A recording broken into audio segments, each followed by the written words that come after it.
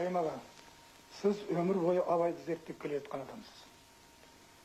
Абайдың туғанына бір жарым ғасыр уақыт өтсе де абайды оқыған сайын тереңдеп бара жатқандай болады.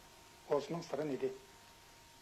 Енді абайдың туғанына биыл жүз елу жыл тоқсан бесінші жылы жүз елу жыл қазір біздің қазақстан партиясы мен үкімет арнаулы комиссия құрып бес жыл бұрын абайдың сол жүз елу жыл тойын бүкіл халық мерекесі қылып өткізуге үлкен кең жоспар жасап даярлық жұмысын жүргізіп жатыр бұл абайға деген құрмет абайдың қадір қасиетін не деген біздің сезіміміз біздің түсінігіміз ал абай шынында қазақ халқының тарихында ғана емес мен айтар едім бүкіл адам тарихындағы ірі тарихи тұлға үлкен қайраткер қазақ халқының адаллы ұлттық мақтаныш әрбір халықтың өзінің барлық қадір қасиетін көрсететін сондай бір ұл тұлға болады ол тарихта белгілі. Сол бір адамның атын айтсақ сол бүкіл бір халық бүкіл бір ұлттың барлық қадір қасиеті сенің көтерген келетін сияқты. Мысалы пушкин десек бүкіл ұлы орыс халқымыздың көтергіміз келеді бір пушкиннің атын айтсақ. Солай ғой. Анау низамиді фузулиді айтсақ әзербайжан халық. Анау шотровскийді айтсақ грузин халық. Сол сияқты анау фердоусиді айтсақ бүкіл мынау иран тәжік халық. Анау шекспирді айтсаң бүкіл ағылшын халық. Гетені айтсаң неміс халық. Осындай мысалдың бәрін келтіре беруге болады. Сонда тарихта өзі бір ғажап нәрсе әрбір халықтың әрбір ұлттың мақтанышы болатын. Мәңгі бақи өлмей ай мен күндей бүкіл әлемге бірдей болып қалатын кемеңгер данышпандар міне абай соның қатарына жататын данышпан. Абай тек қана қазақ халқының мақтанышы емес. Абай тек қана өзінің ұлттық шеңберінде қалып қойған адам емес. Абайдың өз өлеңдерін осыған дейін тексергенде көбін енді қазір белгілі қазір айта аламыз бір жақты зерттеп келдік. Тек қана абайдан әлгі тапқыт тұрғысынан қараймыз деген нәрсенің бірін іздеп келдік. Ол дұрыс емес. Абай бүкіл ұлттың бүкіл халықтың қайраткері. Ал енді мен жаңа айтып отырған абайды әлгі ай мен күндей әмбігі бірдей бүкіл адам баласына ортақ үлкен қайраткер дер едім оны абайдың өзі де айтады абайдың мына өлеңін алып көрейік мысалы абайда махаббат дейтін сөз өлеңінің шығармасының өн бойында махаббатсыз еш нәрсе жоқ көңілде сонда айтады ғой абай махаббатпен жаратқан иә адамзатты сен де сүй ол алланы жаннан тәтті адамзаттың бәрін сүй бауырым деп және сүй хақ жол деп әділетті міне кімді көреміз абайда абай қазақ халқының шеңберіне шығып кетіп отыр бүкіл адамзат баласын айтып отыр абай адамзат баласын сонда абай үлкен ұлы үлкен адамгершілік қасиеттің иесі яғни былайша айтқанда ұлы гуманист сондықтан абайдың әлгі жаңа өзің айтып отырсың жылдан жыл асқан сайын бұндай адамдардың тұлғасы ұлғая береді көтеріле береді қадір қасиеті арта береді. Ел ондай адамды сағынады. Қазір біз өзіміздің тарихымызды айтсақ мәдениет тарихымызды айтсақ қазіргі жеткен жетістігіміздің бәрін айтсақ соның барлығының түбі бүкіл абайда жатыр. Көрдіңіз сонда абай өз бойына өз халқының ғасырлар бойы жасаған барлық рухани мәдениетін бойына жинаған өзі табиғи дарынды адам ғой ол өз алдына абай айтады әлгі ақындық өнер дегеннің өзі не дегенде өзі айтады ғой ол алланың берген сыйы табиғаттың сыйы құдайдың берген қуаты деп сөйтеді міне абай осындай адам енді абайдың бұл қасиетін сол кездің өзінде абайдың жолын қуған абайды сол кезде таныған қазақ халқының енді бәріне сол кезде абай түгел жетіп болған жоқ. Бірақ дегенмен көз тірісінің өзінде талай жерге жайылды абай. Ал сол кезде енді абайды зерттеген жаңағы біз айтып отырған пікірді сол кезде айтқан адамдар болған. Вот мысалы біз осы күнге шейін жасырып айтпай келдік мұхтар өзі айтады ғой. Біз енді мұхтарды әлгі абайтану ғылымының негізін салған әуезов ол дұрыс. Бірақ мұхтар өзі айтады абайтану ғылымы менен бұрын басталған ерте кезде ол басталған деп бірақ ә, бастаған кім кімдер оны мұхтар атап айта алмайды ана сталинизм заманында оның барлығына ә, тыйым салынған нәрсе сондықтан абайды ең бірінші зерттеген абайдың еңбегіне тұңғыш баға берген ол әлихан бөкейхан ә, мың сегіз жүз тоқсан тоғызыншы жылы абаймен танысқан енді оның барлығының ә, абайдың ұлылығын барлығын дәлелдеп берген сосын екінші абайдың көзі тірісінде оның шығармасын та- танысып абайға қазақтың бас ақыны деп баға берген ол ахмет байтұрсын мың тоғыз жүз төртінші жылы мержан сол байтұрсынның қолындағы абайдың шығармаларымен таныспын деп абайды қазақ халқының дәнішпәні ә, біздің әдебиетіміздің негізін салған классик екенін бәрін дәлелдеп айтып берді көрдіңіз бе енді содан бері қарай берсең әлгінің барлығы абайдың шәкірттері абайдың жолын қуған абайдың дәстүрін ұстаған адамдар ана бір сұлтанмахметтің өзін алып қара абайдың кейінгі ірі ақынымыздың біреуі дейміз ғой анау мағжанды алып қара мағжан абайды ұлы ақын әрі хәкім дейді хәкім фәлсапашы философ деп жырлайды ғой оның жақсы енді жаңағы жүсіпбек аймауыттың берген бағасы мұхтар өзі алдына жатыр көрдіңіз ә, сонда сұлтанмахмет былай дейді ғой әлгі ер тарғын қобыландыны оқытпайға абайды оқытан ырқан басың шайға ақындықтың қуаты есіңді алып баса алмастан оқырсың қайта қайта. Міне абайды ә, осылай бағаланған. Енді кейін мың тоғыз жүз жиырма үшінші жылға шейін абай тану мәселесі ә, абай дұрыс тан- дұрыс бағалап сөйтіп келді. жиырма үшінші жылдан кейін мәселе бұзылды. Оны жасыратын жоқ. жиырма үшінші жылы бір пленумда сталиннің таптық күресті күшейту керек деген ол кісі ұран тастады. Соның бәрі біз таптық күресті күшейттік те енді абайға қалай қарау керек? Таптық жағынан қарау керек деп білдірдік қой. Оның өзі үлкен тарих оның бәрін айтып беру қиын. Жиырма үшінші жылы жазылған үлкен мақала бар оны жақсы білесіздер. Қазақ халқының бес жауы.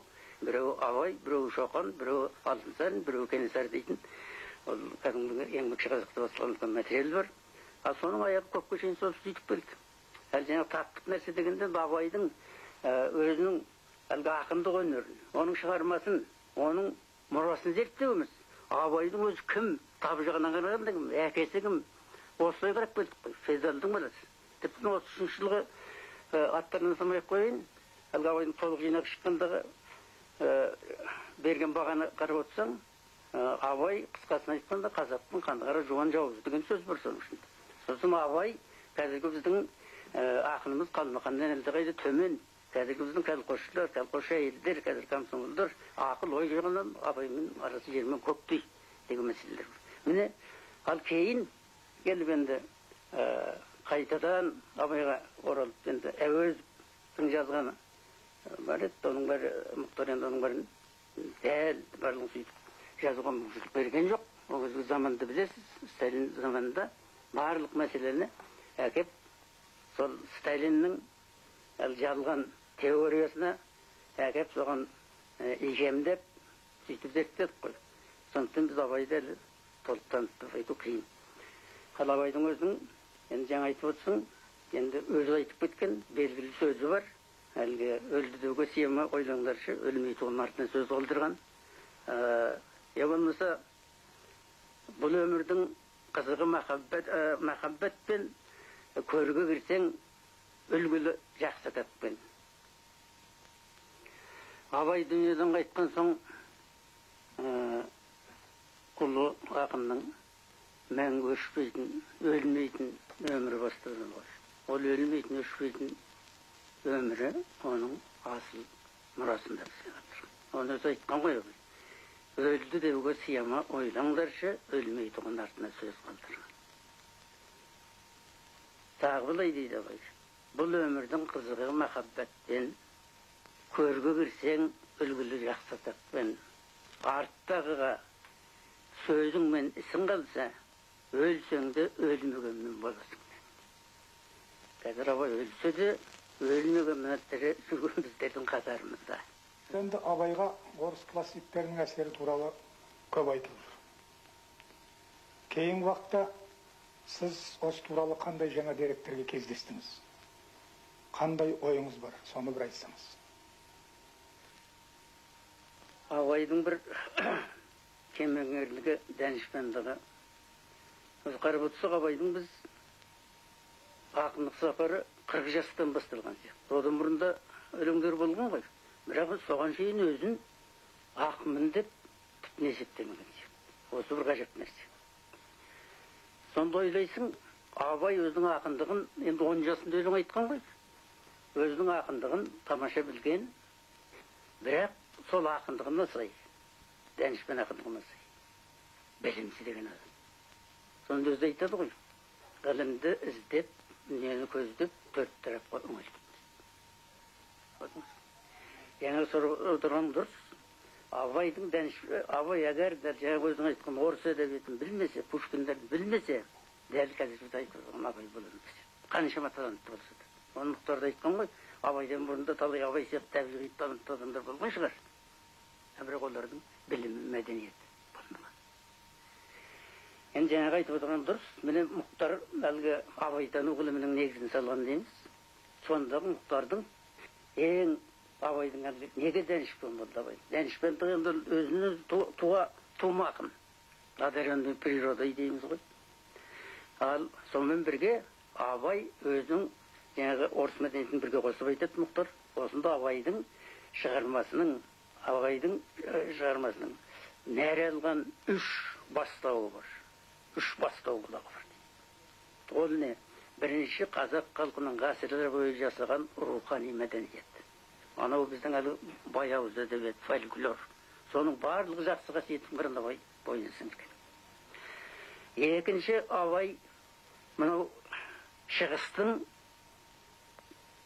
классикалық әдебиет философиясын бойына сіңірген оның бәрін өзі тіптен әлгі фузули шәмси сайқали деп шәкірт күнінде соларға соларды бір ғой. Соларды кейін зерттеген солардың өз тілінде оқыған анау фердоусиіңді низамиіңді фузулиіңді науаиіңді румиді. Барлығын оқыған ғой шығысты. Шығыстың философтарын ана фарабиіңді бәрін біледі сол арқылы бүкіл шығыстың философтары гректің ескі юнанның философтарының барлық философиялық үлкен ғылыми еңбектерін солар аударған ғой сол арқылы абай ар жақ юнанға кетеді сосын абайдың ең ұлы бір жаңағы нәр алған бастауы жаңа өзің айтып отырған орыс халқының ұлы мәдениеті пушкиннен бастап. Енді оның бәрін пушкинді абай оқыған лермонтовты оқыған оқыған емес соны таныған терең білген.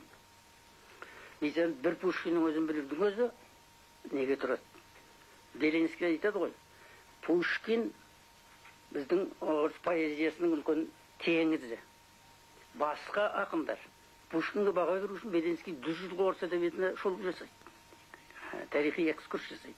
Сонда келіп пушкинді ұлы ақын орыс ұлтының халық ақыны халық ақыны дегенде. Сонда басқа ақындардың бәрі жаңағы пушкиннің үлкен теңіз болса басқа ақындар соған сала сала болып жатқан әлгі салалар дейді. Көрдіңіз сонда пушкин бар халықтың несін бойына сіңірген ғой көрдіңіз міне абай міне сол мәдениетті білген сосын абай россияның өзін саяси жағынан тамаша таниды әлгі бүкіл орыстың бұқара халқын сосын россия империясының қол астындағы барлық ұлтты езіп жаншып отырған орыс патшалығын абай жақсы таныған ал сосын орыстың ұлы гуманистерін пушкин бастаған лермонтов бастаған толстой бастаған щедрин некрасов сосын орыстың бединский добролюбов. Бәрін білген ғой писаревті де оқыған. Көрдіңіз енді орыстан алған нәрі дейтін керемет қой сосын құрған әдет болма соны аударған біздің халық ақыны сапарғали дейтін марқұмның өлеңі болушы еді абайсыз қа- қашан қазақ білуші еді? Ә, байрон пушкин лермонтов толстой шынында әлгі орыс мәдениетіне бізге қақпа ашып берген бізге кім? Абай. Абайға шейін ешкім олар білген жоқ сосын соларды аударған енді ол үлкен әңгіме. Ал оларды аударуда абайға жеткен осының үшін бір ақын жоқ. Сосын орыс.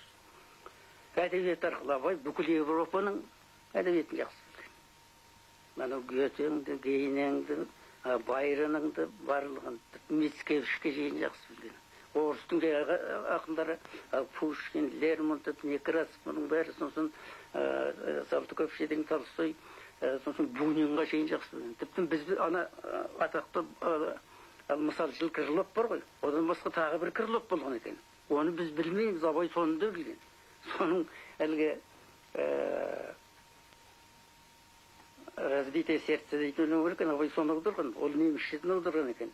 Әлгі мен көрдім ұзын қайың құлағанын деген көрдіңіз абай сондай тамаша енді сосын абайдың әлгі орыс әдебиетін терең мысалы тіптен көп мысалы анау лермонтовтың лермонтовты ерекше жақсы көремін ғой пушкин лермонтовтан өзі жиырма жеті өлең аударған көрдіңіз сонда лермонтовтың барлық шығармасын абай оқығанда менің көзім жетті.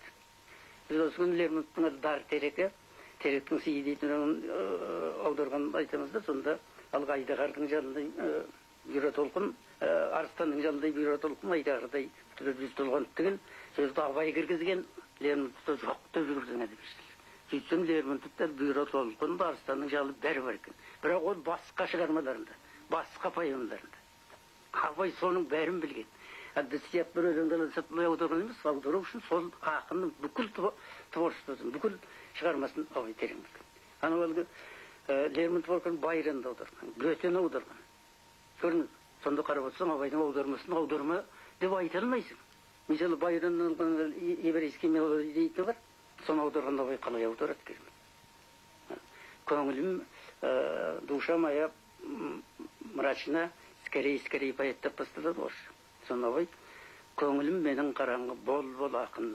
Алтынды домбыраңмен келші жақын шек бойлап он саусақ жорғаласа бейістің үні шығар қоңыр салқын саудырма ма немене көрдіңіз міне абай орыстың классикалық әдебиетін мысалды көп келтіруге болады елге жастарға әлгі үлгі айтқанда әлгі интернетте оқып жүрген ғылым таппай мақтанбай айтқанда кімді мысал қылады? Ә, ойында жоқ бірінің ә, салтыков пен толстой. Я адвокат тілмаш болсын деген бәріміз ал біздің кейбір әдебиетшілер айтып жүр абай толстойдей болды Шер- шериндей болды деп үлгі айтады ол дұрыс емес онда абай ә, біз аса андай адам деп айт- айта алмайсың мен қа- қалай саған айтамын сен абай бол сен пушкин бол деп оны бола алмайсың ғой абай онда айтып отыр ғой ойында жоқ олардың салтыков пен толстой дегенде сендер шенеунік болған жүрсіңдер әдвокат болған жүрсіңдер сол шенеуніктерді әдвокаттарды толстой мен салтыков жерін қалай сойып берген қалай қараған осы жағын апара жатыр абай абайды бұл жағынан зерттеу мәселесі әсіресе мына шығысты зерттеу мәселесі тіптен қиын болды зерттелген жоқ мұхтар марқұм айтатынның бәрін айта алмай кетті бастап айтып еді мұхтарға жабылды. Шығыста айтқанда мұсылманский восток мұсылман шығысында бас ию ә, панисламизм пантүркизм дейтін пәленнің бәрін жатты ғой. Көрдіңіз? Ә. енді сонда орыс әдебиеті туралы осы әлі біз әлі зерттеп жетіп болғанымыз жоқ құрабайдың аударғандарын ғана айтып отырмыз. Сосын орыс әдебиетін оқыған сол оқыған соны абайдың алған негізгі үлгісі немене қалай алды? Оның бәрін әлі терең зерттеу керек диссертация жазылды жазылғанмен әлі тереңірек зерттеу керек дүниесін ашып ұлы тұлғасын жасап берген мұхтар аға кезінде мұхтар көп нәрсені айта алмай кетті дедіңіз егер қазір тірі болса абай туралы не жазар еді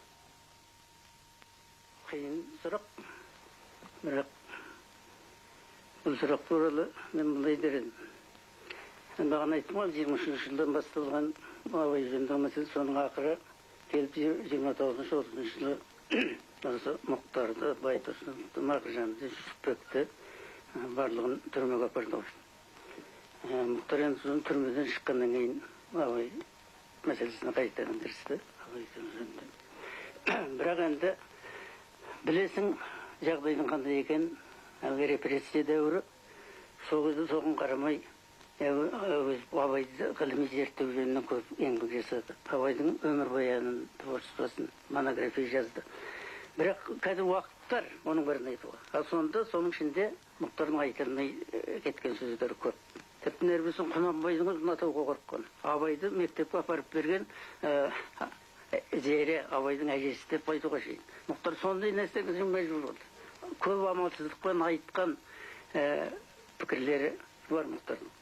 Оның бірі тірі болса мұхтар абай туралы монографиясын қайтадан жазар мен бұның бәрінде бәріне тоқтап жату қиын мен бір ақ мәселені тоқтайын мұхтардың ең үлкен мәселесі абайды ұстаз етіп көрсету абайдың өзінің әдеби мектебі бар өзінің жолын қуған шәкірттері бар талантты деген мәселе ғой оны бұрында жазған оның барлығы рас абайдың өзі де айтқан шәкіртсіз ғалым түрді сондықтан мұхтар абайдың әдебиет мектебі дейтін мәселе осы жөнінде маған тақырып берген. Мен диссертация жаздым. Елу бірінші жылы соны қорғадым. Абайдың әдебиет мектебі дейді. Сол қорғанда үлкен дау көтерілді. Мен емес мұхтарға деген шабуыл қатты болды сонда мұхтарды баяғы бұл панселемист бұл пантүркист бұл националист деген сөздің бір менде документ бар қолымда. Стенографиялық отчет. Соның бәрін сондай пәле жабылды ғой. Сол пәлені бара бара туралы дискуссия дейтін болды оның алдында талай жиылыс болды сонда мұхтарға қуғын дегенді керемет көп көрді соның артынан сегіз айдан кейін бізді халық жау деп бес адамды айдады түрмеге жиырма бес жылдан соның ішінде мен кандидаттық емес сол түрмеге кандидат болып қорғаған сияқты болып шықтым ақырында енді мұхтардың енді ол өз орнында бір тарих мың тоғыз жүз елу үшінші жылға келіп ең соңғы мәлік ғабділдің жасаған баяндамасын оқысаң анау ғылым кітабында бар соның артынан мұхтар москваға қашып кетті ғой келгенше көрдіңіз? Сонда келіп абайдың мұхтардың ең жаңағы абайдың әдебиет мектебі. Ол ғылымда ілімді де біле дәлелдеседі сондықтан романның үшінші кітабы ақын ақ еді ғой.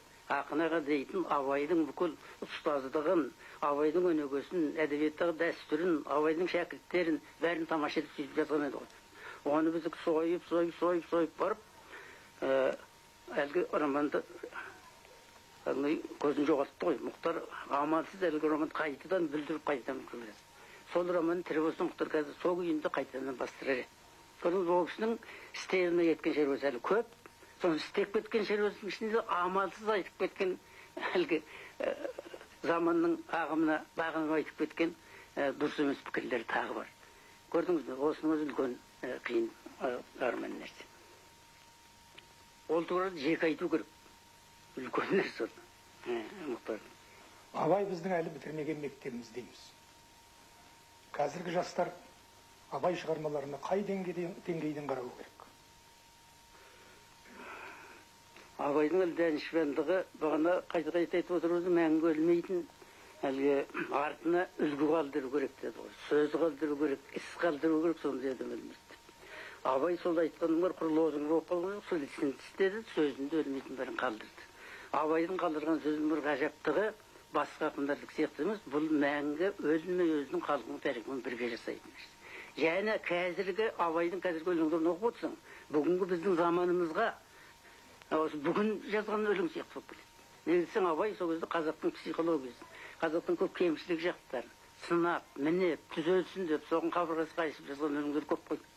Ал сонда әлгі бір луначарскийдің айтатыны бар еді классик деп қандай жазушылар айтыңыз дегенде классиктердің соның бір белгісі дейді олардың өзінің әлгі жасаған образы геройлары біздің заманымызда да тірі жүреді дейді и в наше время живут богатейшие сондықтан абайдың әлгі жасаған образдары адам мінездері құлықтары біздің заманымызда тірі солай ма әлгі өтірікші дейтін өсекші дейтін арыз қой дейтін осының бәрі бар ма абайдың өлеңінде мысалы әлгі жанайұлы жақсы қосамын деп әркім бір сақтап жүр ырылдатып бар жасы кіші үлкеннен ұялмай жүр сұрамсақтар нәпсісін тия алмай жүр дегені шын көңілмен сүйсе екен кімді сүйсе бір сөзімен тұрса екен жанса күйсе қырмызы қызыл жібек бозбалалар оңлық болса бұлғайып бірдім тисе бар ма сондай бозбалалар қазақтың қайсысының бар, бар санасы қылт ертеді дабдайын бір жаласы пысықтықтың белгісі арыз беріп жоқ тұрса бес бересі алты арасы